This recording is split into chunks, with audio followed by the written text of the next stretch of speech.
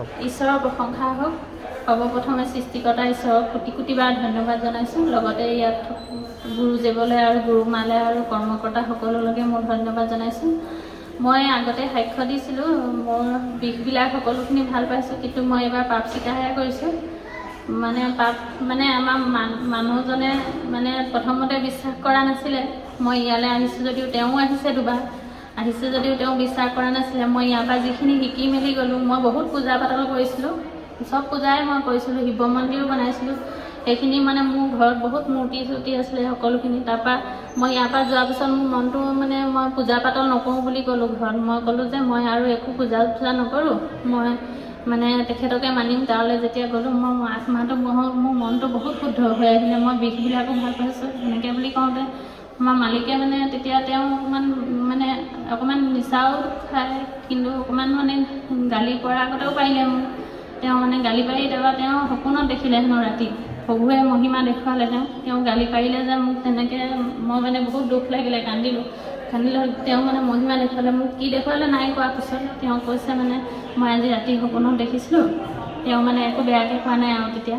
ভালকৈ কৈছে তেতিয়া তুমি যদি মূৰ্তি চূৰ্তিবিলাক কিবা পূজা নকৰা ক'ৰবাত দি দিবা নহ'লে। তাৰপৰা মই তেনেকৈ মই যিটো শিৱ মন্দিৰ প্ৰতিষ্ঠা কৰিছিলোঁ সেই শিৱ মন্দিৰতে মই গণেশ মূৰ্তি লক্ষ্মী মূৰ্তি কিবা কিবি আছিলে মই সেইবিলাক চব তেখেতলোকক সুধিলোঁ মই ইয়াত দিব পাৰিম নে?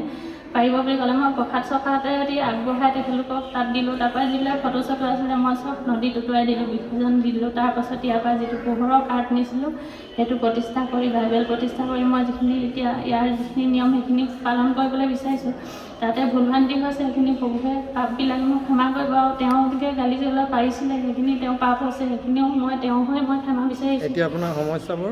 মোৰ সমস্যা এতিয়া সদ্যহতে মোৰখিনি সুস্থ পাইছোঁ তেখেতে আৰু মদ পানীবিলাক এৰা নাই চাদাও এৰা নাই। অলপ অলপ আগতকৈ তেওঁ কমিছে এৰাটো।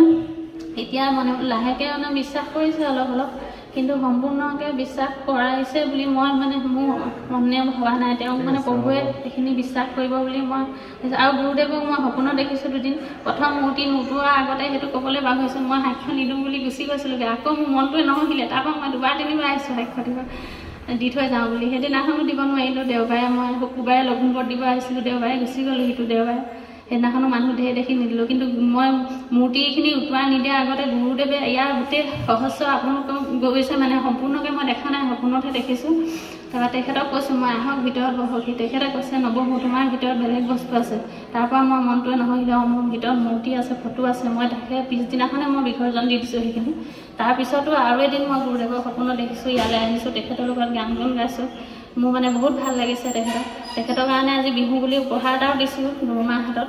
আৰু মোৰ ঘৰতো বহুতখিনি সমস্যা আছে সেইখিনি আৰু সুস্থ হ'ব বুলি ভাবিছোঁ। হৈছে বুলি ভাবিছোঁ বহুতখিনি। আৰু মই যিখিনি জনাই নজনাই কিবা যদি অপৰাধ হৈছে প্ৰভুৰ ওচৰত সেইখিনি মোক ক্ষমা কৰিব জনাই নজনাই প্ৰাৰ্থনা যিমানখিনি কৰিব পাৰোঁ কৰিছোঁ মনতো গুণগুণাই আছোঁ ইয়াতো লঘোণ বৰত দিছোঁহি কিবা যদি ভুল হৈছে নাজানিছোঁ কিবা যদি পাপ হৈছে সকলোখিনি ক্ষমা